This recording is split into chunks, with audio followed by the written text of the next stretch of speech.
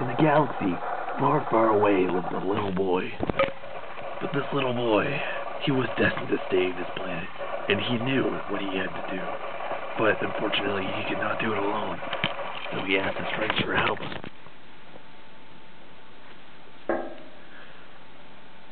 Hey man, you you wanna you wanna help me save uh, you wanna help us save the planet? Okay. You you can help me too. Yeah. All right. We must we must defeat the alien dog menace, for he is the alien overlord that controls the galaxy.